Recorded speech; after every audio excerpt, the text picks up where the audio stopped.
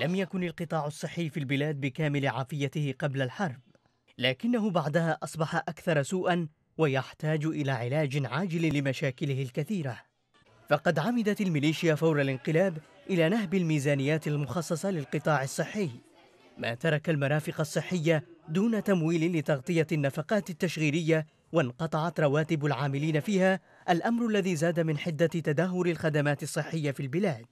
حاجة الناس إلى العلاج أيضا زادت بنسبة كبيرة خلال سنوات الحرب الأربع فقد ظهرت الكثير من الأوبئة التي كانت قد اختفت عن العالم كالكوليرا والديفتيريا وحمى الضنك. كما تراجعت في المقابل قدرتهم على الذهاب إلى المستشفيات مع تردي الوضع المعيشي وانقطاع رواتبهم. عشرات الآلاف من الضحايا سقطوا بين فكي الأمراض والأوبئة التي لم تكن المرافق الصحية على استعداد لمواجهتها. بالإضافة إلى آلاف الضحايا الآخرين الذين فارقوا الحياة بعد صراعات مريرة مع أمراض أخرى كالفشل الكلوي بسبب انعدام الأدوية وعدم قدرة المرافق الصحية على استيعاب الأعداد المتزايدة يوما بعد آخر. الأدوية أيضا أصبح الحصول عليها أكثر عقدة من السابق بسبب ارتفاع ثمنها بأضعاف مضاعفة، فيما يبرر تجار الأدوية ذلك بارتفاع تكاليف الاستيراد وإجبارهم على دفع الرسوم الجمركية والضرائب أكثر من مرة حيث تؤخذ منهم في موانئ عدن من قبل السلطات هناك كما تفرض عليهم الميليشيا رسوما مماثلة في مناطق سيطرتها.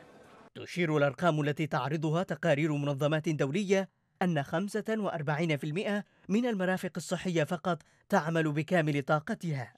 وتعمل 38% منها بشكل جزئي فيما توقف العمل تماما في 17% من هذه المرافق. كما تعرض أكثر من 400 مرفق صحي للضرر أو التدمير خلال الصراع الجاري إما بسبب غارات التحالف أو قذائف الميليشيا. بالإضافة إلى مغادرة الكوادر الطبية عالية التخصص مثل أخصائيي وحدة العناية المركزة والأطباء النفسيين وأطقم التمريض الأجنبية.